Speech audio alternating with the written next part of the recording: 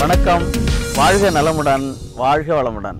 அன்பானவர்களே நாம் இன்றைக்கு அறிந்து கொள்ள இருப்பது உடலிலே இரத்தத்தை தூய்மை செய்வதில் முக்கிய பங்கு வகிக்கக்கூடியதும் முதன்மையாக கவனிக்கப்பட வேண்டிய உறுப்பு நமது கல்லீரல் ஆகும் உடலிலே இரத்தத்தை தூய்மை செய்வதில் முக்கிய பங்கு வகிக்கக்கூடிய முதன்மையான உறுப்பாகிய கல்லீரல் அந்த கல்லீரலை நாம் பாதுகாக்க வேண்டியது கவனிக்க வேண்டியது நம்மளுடைய கடமையாகும்.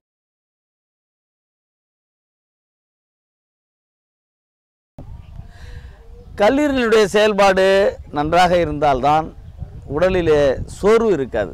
இந்த கல்லீரலுடைய செயல்பாடு குறைவதால் உடலுடைய சோர்வு கண்கள் சிவப்பது தோள்களில் நமைச்சல் உண்டாவது சிறுநீர் அடர்த்தியாக போவது அவ்வப்போது காய்ச்சல் ஏற்படுவது இப்படி தொந்தரவுகள் உடலிலே ஒன்றன் பின் ஒன்றாக வரும்.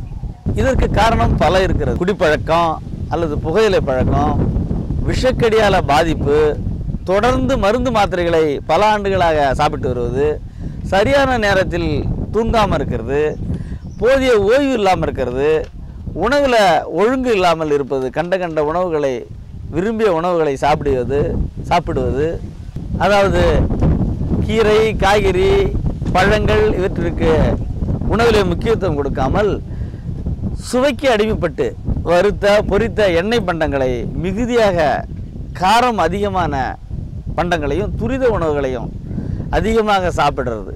இதன் காரணமாக அந்த கல்லீரல் கெட்டு மஞ்சக்கா மாலை நோய்களும் வர வழிவகுக்கிறது. இந்த மஞ்சக்கா மாலை உயிருக்கே ஆபத்தை விளைவிக்கக்கூடியதாகும். எனவே உடல் சோர்வு கண் சிவப்பு கண் மஞ்சளாக இருக்கிறது உடல் மஞ்சளாக ஆகிறது அவ்வப்போது காய்ச்சல் ஏற்படுறது இதெல்லாம் வந்து அந்த கல்லீரலுடைய பாதிப்பாக இருக்கலாம் என்று நீங்கள் உணர்ந்து முன்னோர்களுக்குரிய பக்க விளைவுகள் இல்லாத கல்லீரல் செயல்திறனை மேம்படுத்தி பாதுகாத்து உயிரை காக்கக்கூடிய எளிய அனுபவ மருத்துவ முறைகளை தெரிந்து கொண்டு அந்த நாம் கடைபிடிக்க வேண்டும்.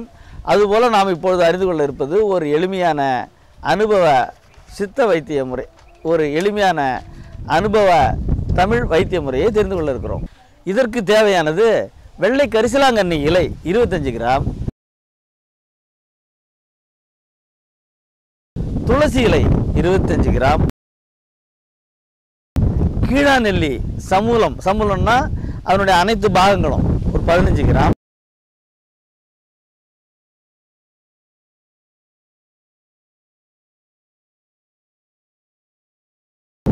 இவைகளை எடுத்து அரைத்து அல்லது நசுக்கி ஒரு லிட்டர் தண்ணீரில் போட்டு அடுப்பில் ஏற்றி காய்ச்சி ஒரு இரநூத்தி ஐம்பது மில்லி அதாவது நாளில் ஒரு பாகமாக நன்றாக காய்ச்சி வாங்கி காலையிலையும் இரவுலையும் உணவுக்கு முன்பாக ஒரு ஐம்பது மில்லி அளவுக்கு சாப்பிட்டுட்டு வந்துடணும்.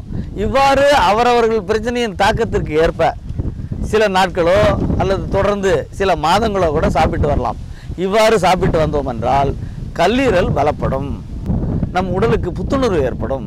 இதுபோல் முன்பே கூறிய பிரச்சனைகள் யாவுமே படிப்படியாக நீங்கும்.